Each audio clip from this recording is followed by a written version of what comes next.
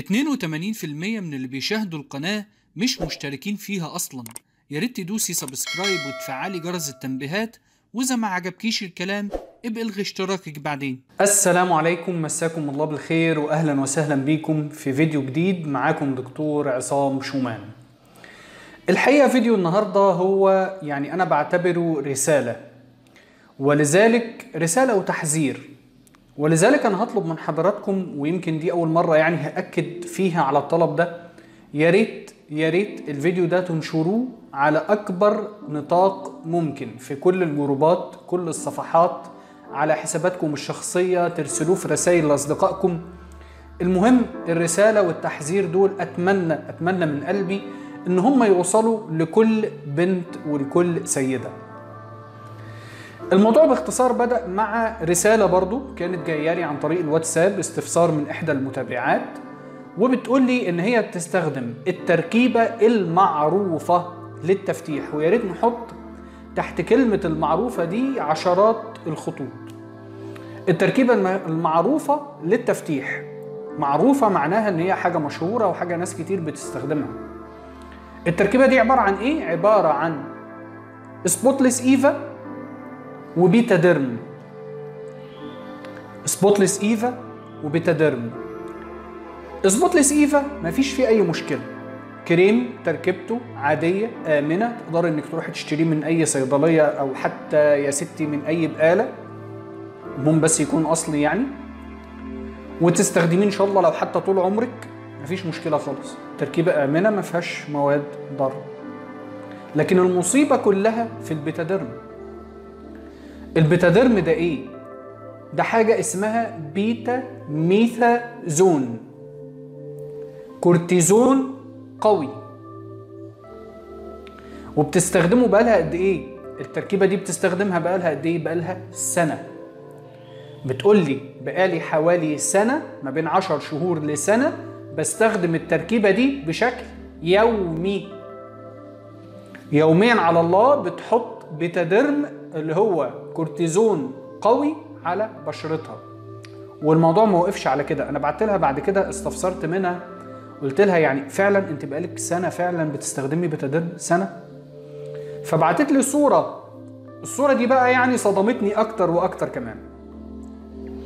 الصورة دي فيها سبوتلس وفيها فير اند لافلي اللي ما فيهمش أي مشاكل عادي خالص. لكن فيها مع البيتاديرم ديرموفيت كلوباترا كيناكومب. إيه ده؟ الدرموفيت ده اللي هو أقوى أنواع الكورتيزون الموضعي أقوى أنواع الكريمات اللي بتحتوي على الكورتيزون مادة اسمها كلوبيتاسول. ودي نفس المادة اللي موجودة في في كريم كلوباترا كلوباترا هو نفسه الدرموفيت بس شركات مختلفة نفس المادة الفعالة. الكيناكومب أيضا بيحتوي على الكورتيزون. طيب مبدئيا كده كريمات الكورتيزون ما فيهاش مشكلة طالما بتستخدم بشرطين بشرطين أول شرط بوصف الطبيب. موصوفة من دكتور ما فيش مشكلة والدكتور هيوصفها لحالات معينة لمشاكل جلدية معينة غالبا بتكون مشاكل التهابات حادة.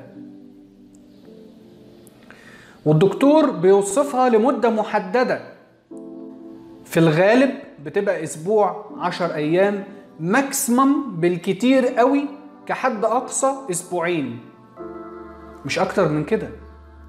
مش أكتر من كده. ليه؟ لأن في أضرار جانبية خطيرة جدا جدا جدا لاستخدام الكورتيزون لفترات طويلة. استخدام كريمات الكورتيزون والمستحضرات الموضعية اللي بتحتوي على الكورتيزون لفترات طويلة له أضرار خطيرة جدا. والأضرار دي مش بس على الجلد. الأضرار دي مش فقط على بشرتنا وعلى المناطق اللي إحنا بندهن فيها الكريمات دي. لا الأضرار دي بتمتد كمان داخل الجسم بتأثر كمان على الأجهزة وحاجات مهمة جدا داخل جسمنا. طيب من غير كلام كتير أنا هوريكم صور. والصور دي مش من عندي الصور دي هسيب لكم كده رابط في صندوق الوصف تحت الفيديو لبحث ومقال علمي ودراسة كاملة عن الموضوع ده. فيها الصور اللي حضراتكم هتشوفوها دي. الصور دي للآثار الجانبية الشائعة لاستخدام الكورتيزون بشكل سيء لل misuse استخدام الكورتيزونات الموضعيه بشكل سيء لفترات طويلة. خلونا نشوف الصور دي.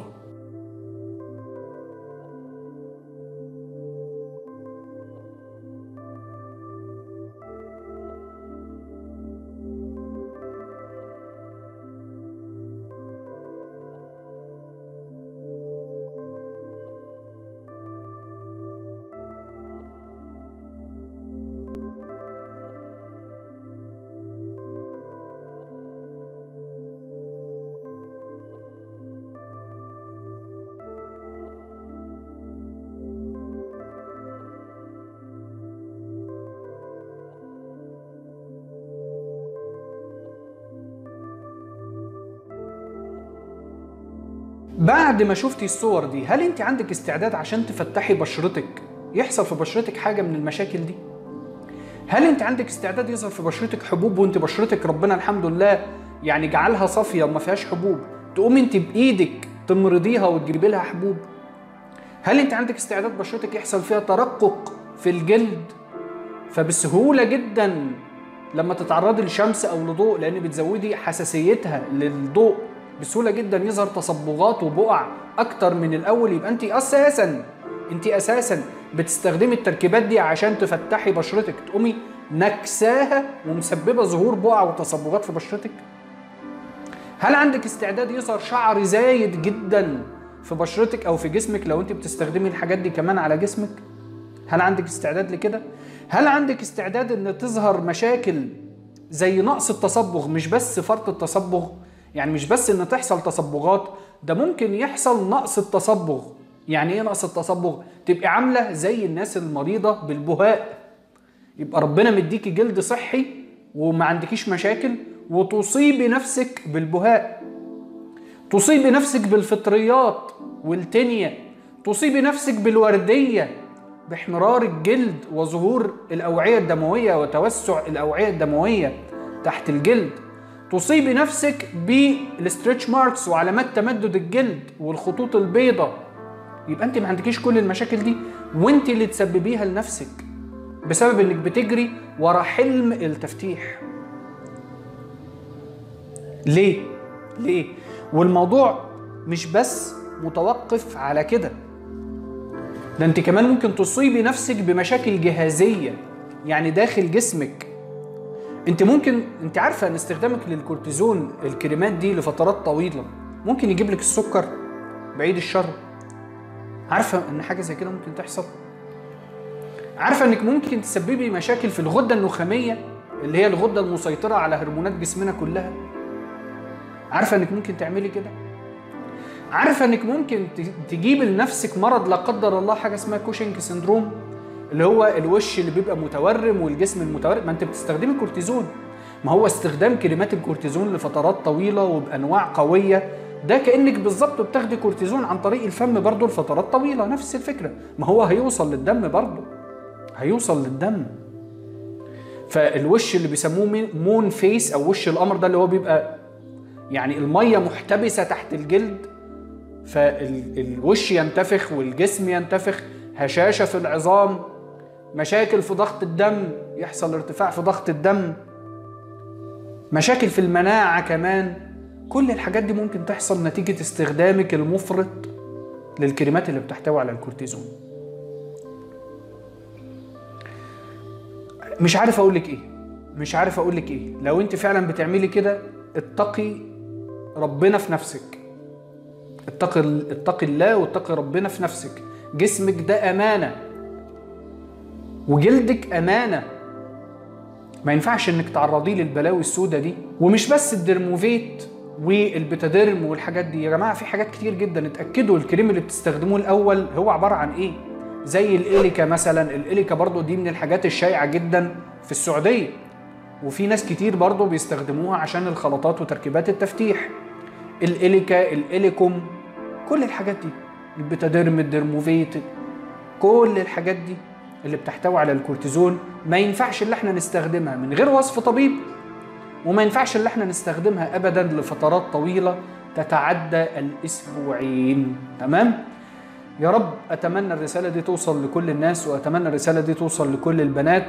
ما نخاطرش عشان حلم التفتيح لون بشرتك الطبيعي اللي ربنا سبحانه وتعالى خلقك بيه ما بيتفتحش. التفتيح بس يكون للتصبغات للبقع للاسمرار الغامق عن لونك الطبيعي.